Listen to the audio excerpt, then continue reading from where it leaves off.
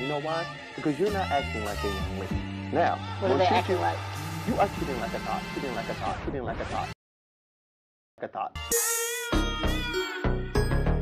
Like a thought. Now, the thing is.